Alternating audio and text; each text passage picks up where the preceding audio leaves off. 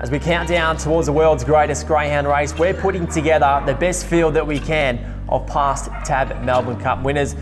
We've touched on a couple already. Now, Brownie, we're going to have to touch on Rapid Journey, who's regarded one of the best of all time. Yes, he certainly uh, he certainly is. Uh, I remember the night that he won well. He had the box six, and there was a few knockers about that the great Rapid Journey couldn't continue um, his fantastic year. And uh, by the time they got to the first turn, uh, George, it was all over.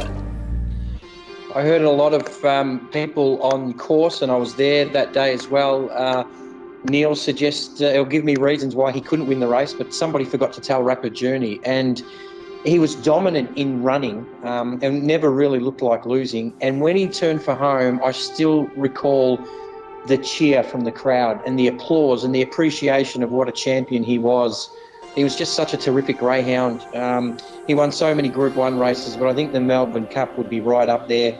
And you're right, he had to do it from a hard box, but that was the way he did it across his whole career. He had to tough it out, and um, I'll never forget. I was, I think I was in my teens still. I'll never forget that applause, and I, I, you just felt like everybody was there, just appreciating a champion. What a great dog Rapid Journey was.